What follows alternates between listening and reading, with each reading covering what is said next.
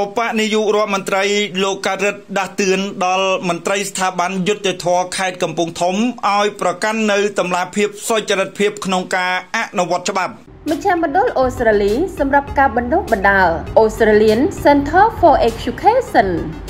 លោកកើតរិទ្ធឧបនាយករដ្ឋមន្ត្រីរដ្ឋមន្ត្រីក្រសួងយុទ្ធភ័ពបានដាស់តឿនមន្ត្រីតុលាការនិងមន្ត្រីពាក់ព័ន្ធនិងស្ថាប័នយុទ្ធភ័ពទាំងអស់នៅខេត្តកំពង់ធំត្រូវយកចិត្តទុកដាក់បន្ថែមលើការពង្រឹងគុណភាពយុទ្ធភ័ពជូនប្រជាពលរដ្ឋនិងពន្លឿនការដោះស្រាយសំណុំរឿងប្រកបដោយតម្លាភាពនិងសុចរិតភាព ការណែនាំនេះធ្វើឡើងក្នុងពិធីប្រកាសចូលកាន់តំណែងលោករស់សារ៉ាំជាព្រះរាជអាជ្ញាអัยការអមស្លាដំបងខេត្តកំពង់ធំជំនួសលោកសុនវិរៈដែលបានផ្លាស់ទៅខេត្តកំពង់ស្ពឺនាព្រឹកថ្ងៃទី18ខែតុលាឆ្នាំ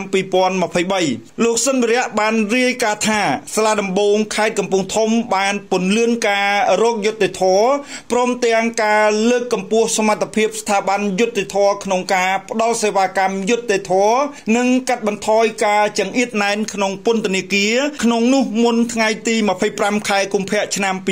2020សំណុំរឿងព្រហ្មទណ្ឌសល់ចំនួន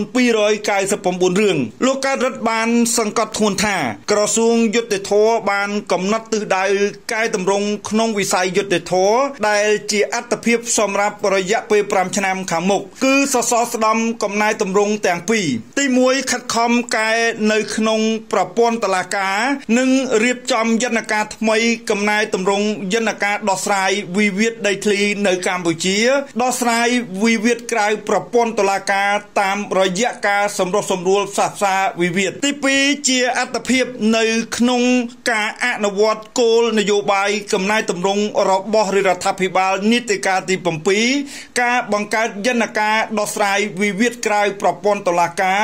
ការជំរុញនិងពន្លឿនសំណុំរឿងក្តីនៅតាមតុលាការ ដែលកកស្ទះនិងត្រួតពិនិត្យដោះស្រាយភាពមិនប្រក្រតីនៅតាមតុលាការសម្ដៅជួយដោះស្រាយរោគយុត្តិធម៌ជូនប្រជាពលរដ្ឋនិងលើកកម្ពស់តម្លាភាពសុចរិតភាពនិងភាពត្រឹមត្រូវក្នុងការអនុវត្តច្បាប់និងចំណាត់ការរឿងក្តីដោយតុលាការលោកកើតរិទ្ធបានដាស់តឿនមន្ត្រីទាំងអស់ត្រូវមានសាមគ្គីឯកភាពគ្នា ដើម្បីសម្រេចឲ្យបាននៅកំណែតម្រង់របស់រដ្ឋាភិបាល ជាពិសេសចៅក្រមព្រះរាជអាជ្ញាក្រឡាបញ្ជីត្រូវយកចិត្តទុកដាក់បន្ថែមក្នុងការចាត់ការលើសំណុំរឿងឲ្យបានម៉ឺងម៉ាត់និងមានតម្លាភាពលោកបានបន្តថាមន្ត្រីពាក់ព័ន្ធនឹងស្ថាប័នយុត្តិធម៌ទាំងអស់នៅខេត្តកំពង់ធំកម្លាំងនគរបាលយុត្តិធម៌ក៏សូមយកចិត្តទុកដាក់លើការបង្ក្រាបនិងអនុវត្តច្បាប់ចំពោះបទល្មើសលោករស់សារ៉ាំព្រះរាជអាជ្ញាអัยការអមស្លាដំបង